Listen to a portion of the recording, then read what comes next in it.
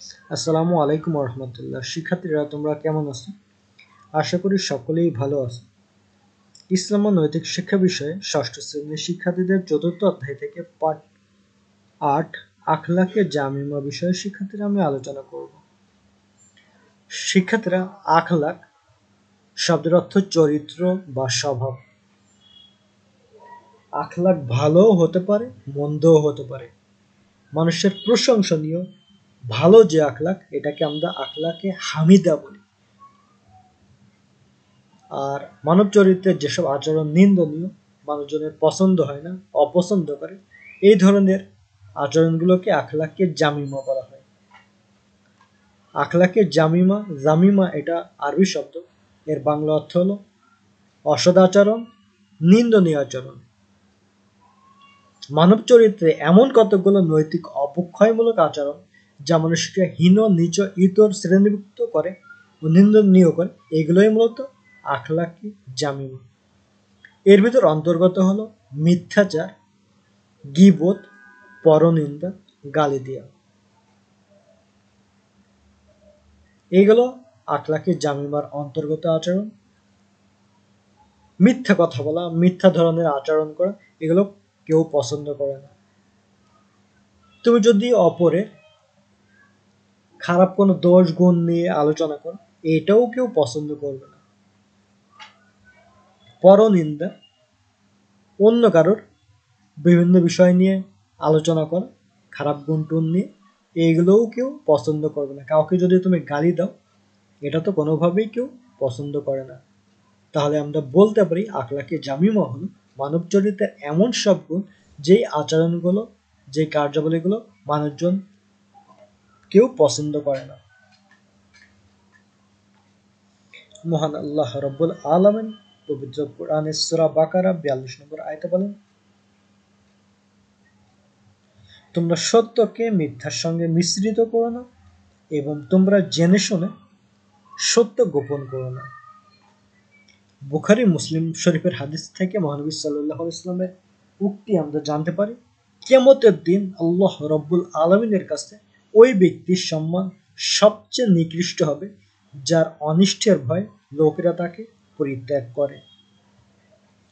শিক্ষার্থীরা, এখানে যে ব্যাপারটা আল্লাহ রব্বুল আলমিনের কথা মহানবী সাল্লাহ ইসলাম বলতেছে তুমি কাউকে যদি গালি দাও, মারামারি করো, মারধর করো চিন্তায় করো, এই আচরণগুলো কারণে মানুষজন তোমাকে পরিত্যাগ করবে, ভয় করবে।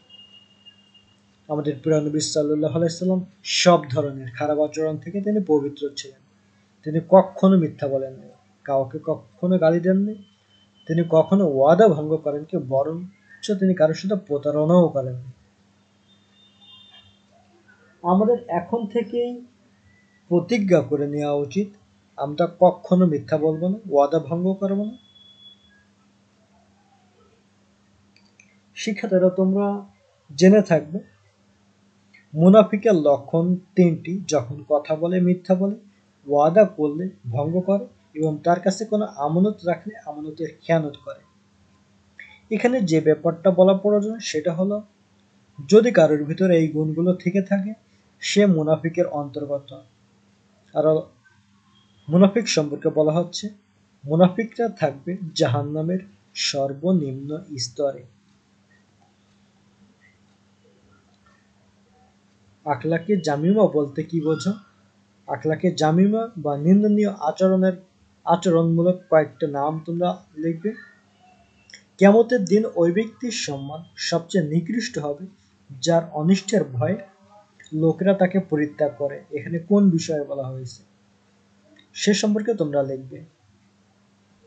শিক্ষার্থীরা, প্রত্যেকে অবশ্যই অবশ্যই বাড়ির কাজগুলো করবে এবং তোমরা হয়তো এখনই অবগত হয়ে গেছো। একুশ তারিখে তোমাদের নতুন আর একটা অ্যাসাইনমেন্ট দিবে।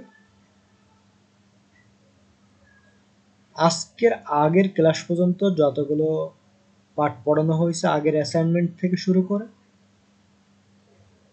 ওই ক্লাসগুলোই মূলত তোমাদের অ্যাসাইনমেন্টের প্রশ্ন হিসেবে আমি যুক্ত করেছি।